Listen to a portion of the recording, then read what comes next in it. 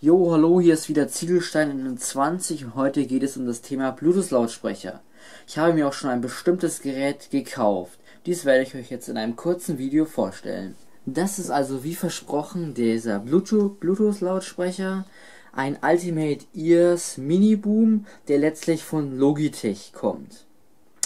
Ähm, der Lautsprecher hat einen Lithium-Ionen-Akku, der bis zu 10 Stunden aushalten kann.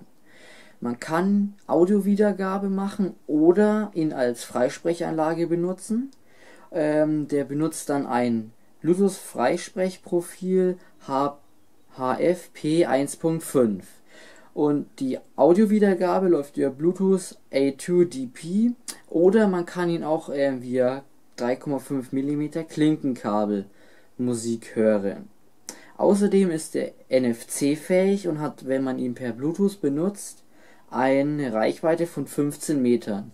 Und zum Größenvergleich habe ich mal mein iPod 5 davor gelegt und dann sieht man, der ist nicht ganz so groß.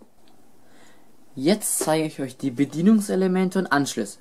Ganz links ist der Leiser-Knopf, in der Mitte ist ein Bluetooth-Knopf, der auch gleichzeitig Anrufe beenden kann und rechts ist der Lauter-Knopf.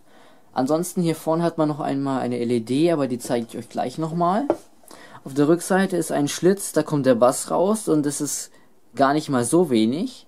Hier ist der An- und Ausschaltknopf. Daneben ist nochmal eine LED, die zeigt an, dass der Lautsprecher eingeschaltet ist, schaltet sich aber nach 15 Minuten aus wegen dem Stromsparmodus.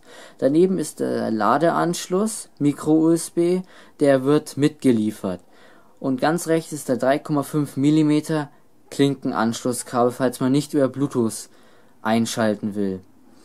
Also, und wenn man den hier einschaltet, dann kommt ein, kurz ein, kommt kurz ein Ton und hier ist die LED und hier vorne blinkt auch nochmal eine Bluetooth-LED. Die fängt dann das komplettes Leuchten an, wenn erfolgreich verbunden wurde. Jetzt stelle ich euch noch kurz die App vor, die, wenn man dem beim ersten Pairing kommt mit dem Lautsprecher kommt eine Nachricht, dass man die App runterladen kann. Man kann auch einfach im App Store oder im Play Store, also für iOS oder Android, die einfach runterladen.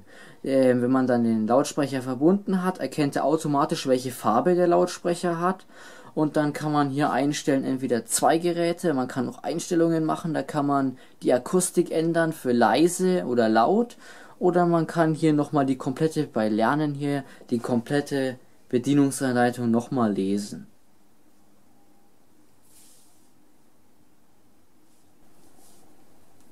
Jetzt sage ich noch was Kurzes zum Klang. Man kann noch zwei von diesen Lautsprechern zusammen pairen, um einen Stereo-Sound zu bekommen. Habe ich noch nicht probiert, weil ich habe nur den einen.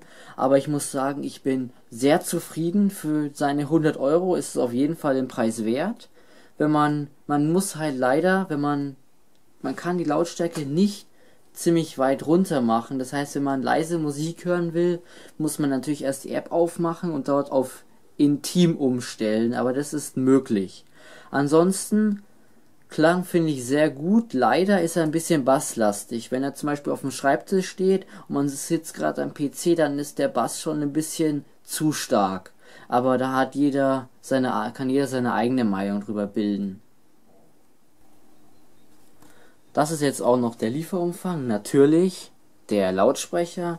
Hier eine kleine Bedienungsanleitung, die kann man aber auch in der App nochmal lesen. Und es ist hier noch ein kleines Aufladekabel dabei.